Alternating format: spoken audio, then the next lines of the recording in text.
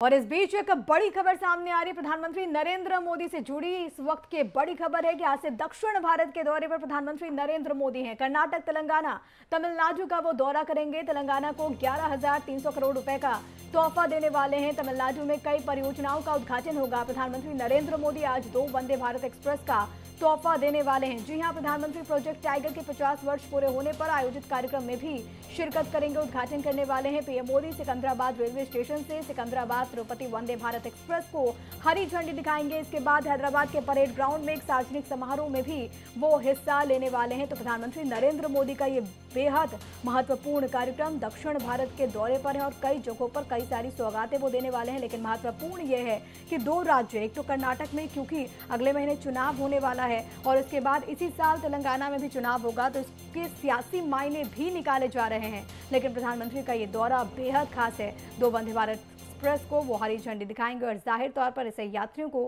काफ़ी ज़्यादा फ़ायदा होगा, क्योंकि वक्त की बचत होगी, मिशन दक्षिण और एक किस लिहाज से खास है वो आपको लगातार हम बताते हुए, लेकिन प्रधानमंत्री नरेंद्र मोदी का पूरा कार्यक्रम क्या होगा, वो भी आपकी टीवी स्क्रीन पर ग्राफिक्स के माध्यम से। तेलंगाना को ग्यारह करोड़ रुपए का वो तोहफा देने वाले हैं। तमिलनाडु में भी कई परियोजनाओं का उद्घाटन होगा और इसके अलावा जो जानकारी है वो ये कि वंदे भारत एक्सप्रेस को वो हरी झंडी दिखाएँगे। प्रधानमंत्री नरेंद्र मोदी वंदे भारत एक्सप्रेस को रवाना करेंगे। तो दक्षिण भारत का ये दौरा, तमाम तरह की तैयारियाँ देखने को मिल रही है। दो दिनों का ये दौरा और कई लिहाज से ये काफ़ी खास हो जाता है क्योंकि एक रणनीति के तहत भी तमाम ये दौरे नज़र आ रहे हैं। जिस तरीके से चुनावी मूड पर इस वक्त दक्षिण नज़र आ रहा है, चाहे वहाँ पर कर्नाटक हो या फिर तेलंगाना, जहाँ पर चुनाव होने वाला है। और इसको लेकर आपने देखा होगा कि बीते कई दिनों से बीजेपी के जो शीर्ष चेहरे हैं, वो लगातार प्रदेशों का दौरा करते हुए नज़र आ रहे हैं। और अब इसी कड़ी में प्रधानमंत्री नरेंद्र मोदी का ये दौरा। हालाँकि इस दौरान जब वो पहुँचेंगे तो कई सारे ऐसे विकास कार्य हैं